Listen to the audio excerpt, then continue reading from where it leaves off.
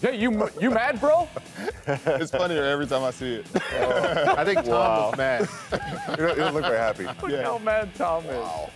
That's what happens, man. That's what happens. Tell us how, what, what was the scenario that led to that picture, your conversations? What was going on? Well, Tom Brady is a little more talkative on the field than a lot of people may be led to believe.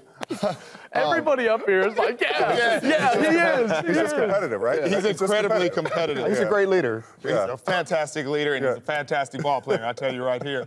But he does have his fair share of, you know, he came up to me and Earl. We, you know, during TV timeouts, that's when the TV isn't on anybody. Nobody sees anything. And we're, we're standing there talking about, you know, I think we're game planning, talking about route concepts, and he comes up like, so who are you guys? what you mean, who are we? who are you? And he's like, you know, we go back and forth for a little while. Then he looks up at the scoreboard and looks back at us. He's like, uh, come see me after this win. So after the game, they didn't win, but I still came and saw him, as I promised. And everybody got mad at me. It's your fault. It's my fault. Yep. And He that's why you invited asked you. him why Yeah. he was. He invited you, and then he was mad. So you asked him, "You mad, Mad, bro?"